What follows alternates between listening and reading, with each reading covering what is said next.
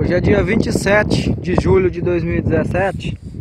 Essa aqui é a propriedade do senhor Vanderlei, no município de Guardamó, Minas Gerais.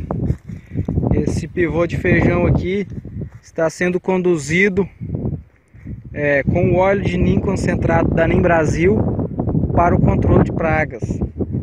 Aqui na região aqui é, tem uma pressão muito forte de mosca branca, há uma grande preocupação.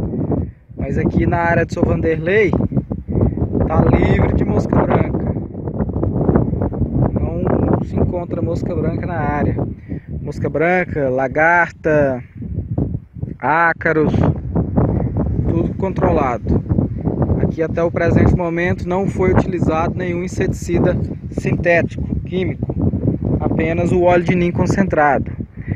É, aqui na área pode se encontrar, se nota aqui a presença de vários predadores naturais, como percevejos, joaninhas, que ajuda a fazer o controle sem o uso do inseticida, porque o óleo de ninho não mata os predadores naturais.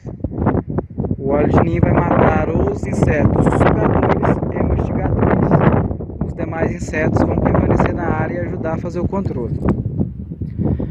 Também está sendo utilizado os fertilizantes foliares full green, que são é, fertilizantes concentrados com os 12 micro e macro elementos que a planta necessita no seu ciclo para produzir com qualidade.